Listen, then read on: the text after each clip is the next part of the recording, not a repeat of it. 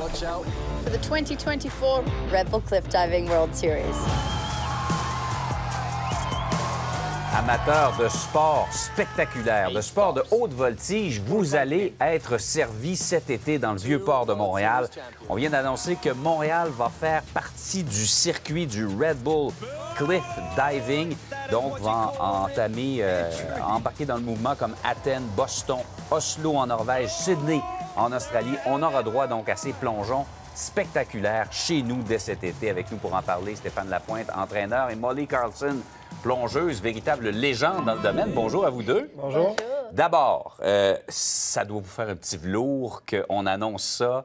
Euh, vous êtes natif de l'Ontario, Molly. Qu'est-ce que ça vous fait euh, de, de plonger chez vous, là, dans le fond, au Canada? Ah, c'est un moment excitant pour le Canada. Le sport est 15 ans depuis commencé et il n'est jamais arrivé au Canada. Donc, pour être ici cet été, c'est vraiment excitant. Stéphane, ça faisait un bout de temps que ça se parlait, mais c'était pas réglé encore. Là. Ça vient de se régler, c'est sûr que c'est un rêve qui, depuis longtemps, euh, Lisanne Richard, qui est la première athlète euh, canadienne de haut vol, a toujours une vision de ça. Donc, de, voir euh, après plusieurs années que ça va finalement arriver à Montréal, c'est vraiment le fun. Et c'est pas juste pour nos beaux yeux qui viennent ici, c'est parce qu'on est un centre reconnu de formation des plongeurs-plongeuses. hein. Définitivement, c'est un rassemblement de plusieurs personnes qui fait un succès euh, de- de- du centre à Montréal.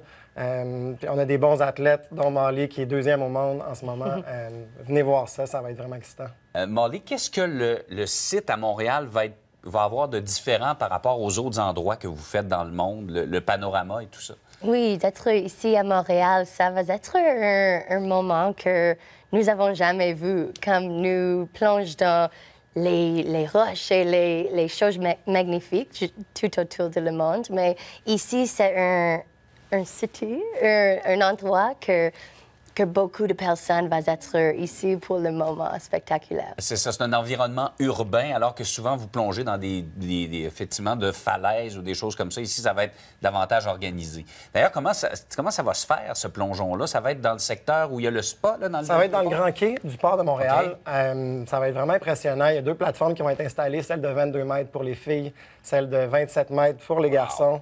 Euh, 12, 12 hommes, 12 femmes qui vont vous impressionner. Euh, venez voir ça live. Souvent, le voit à la télé, mais en personne, c'est tellement différent, tellement plus impressionnant. Euh, Ça va être présenté d'ailleurs sur TVA Sport pour les gens d'ailleurs au Québec qui ne pourront pas nécessairement se rendre sur place. D'ailleurs, qu'est-ce qu'il y a d'impressionnant quand on va le voir en personne? Qu'est-ce qu'on voit en personne sur place qu'on ne ressent pas nécessairement par l'intermédiaire de la télé? C'est sûr la vitesse à laquelle ils descendent, là, du moment où ils sautent, qu'ils font les acrobaties, puis la, la- la- la- la chute à la fin qui est vraiment en accélération. Donc le l'impact, le bruit qu'ils font quand ils rentrent dans l'eau, euh, c'est fort. Tout le monde l'entend, tu peux le ressentir, il y a des vibrations au Ah sol. ouais? Oui. 85 km/h qu'ils peuvent atteindre. C'est vraiment impressionnant. Molly, euh, vous n'avez jamais de doute, vous n'avez jamais peur, vous n'avez pas peur? Oui? Je suis peur chaque journée. Ben voyons donc. on pratique vraiment fort et Stéphane m'aide à, à être confortable avec les plongeons que je fais. Donc, quand j'ai fait mes quatre plongeons ici à Montréal, j'espère que je peux faire 10 sur 10. oui, on vous le souhaite, puis ça serait bien que vous gagniez à la maison. Mais euh, c'est très, c'est physique évidemment, mais c'est très mental aussi. hein. oui, c'est un sport mental, 50 et puis 50 c'est physique. Donc, c'est important que nous sommes connectés avec cela. Stéphane, ça se passe. Comment ça se passe exactement une compétition? C'est sur trois jours? C'est ça? sur trois jours, la finale est le dimanche. C'est là qu'on invite tout le monde à venir. Euh, Il n'y a, pas de- il y a pas besoin de billets, vous pouvez juste venir au port de Montréal euh, pour voir ça. C'est gratuit. Oui, c'est gratuit. Donc, Toute la fin de semaine. trois jours, euh, je suppose, une séance de qualification. Par la suite, euh, C'est que quatre plongeons répartis en difficulté euh, qui, qui- qui va culminer avec le dimanche, la grande finale. Euh, le, ni- le niveau de difficulté est gros, le danger est gros. C'est un sport risqué qu'on essaie de faire de façon le plus sécuritaire possible. La marge de manœuvre à l'entrée à 85 km/h n'est pas grande, donc Et il n'y a jamais de blessés, il n'y a jamais eu de. c'est sûr qu'il y en a. On essaie de l'éviter le plus possible, mais c'est un sport risqué. On doit vivre avec ça. Euh, on touche du bois. On est euh, très, très, très safe comme plongeuse. Puis, Ouais. euh, oui. Vous, Molly, vous avez jamais eu de blessure? Vous avez jamais- Non, un peu de fois, c'était risqué, mais non, non, non, pas pour moi. Alors, vous vous frottez les mains, je suppose, en, en regardant le calendrier, en se disant on va être à la maison à la fin du mois d'août dans le Vieux-Port de Montréal.